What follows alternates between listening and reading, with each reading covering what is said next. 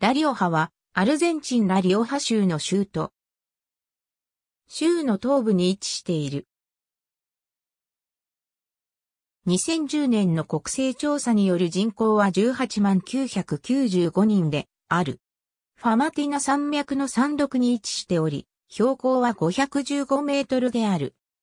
首都ブエノスアイレスからは 1167km の距離にあり、コルドバからは 430km にある。ラリオハ一帯はアルゼンチンで最も乾燥した地域の一つであり、ラリオハ州は最も人口が少ない州の一つである。市街地から 7km の距離にカピタンビセンテ・アルマンドス・アルモナシド空港があり、ブエノスアイレス、北部に隣接するカタマルカ州のカタマルカに定期便が飛んでいる。ホセデ山、マルティンのモニュメント植民地時代の建築なインド、公園ホテル1591年、トゥクマン州政府によってラリオハの町が建設された。町の建設以来常に州都の座にあり、19世紀中頃にはチリ国境に近いチレシートが一時的にラリオハの人口を超えたが、20世紀初頭までに再びラリオハが州の人口最大都市となった。1970年にはラリオハ国立大学がラリオハを本部として設立された。イサベル・ペロン元大統領はラリオハ生まれであり、カルロス・メネム元大統領もラリオハ近隣の生まれである。ラリオハ州ではワインの生産が盛んだが、経済は歴史的に牧畜や農業に依存していた。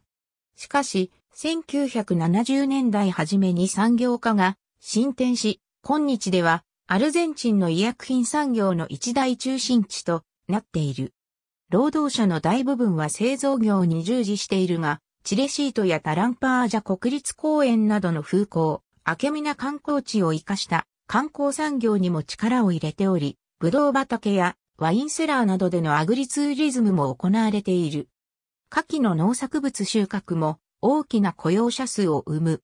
この期間には多くの市民がオリーブのプランテーション、ブドウ畑、綿花畑などで仕事を見つけ、ワインの瓶詰めや製品の輸送などにも多くの労働者が従事する。ラリオハはステップ気候であり、欠片の気候区分では BSH となる。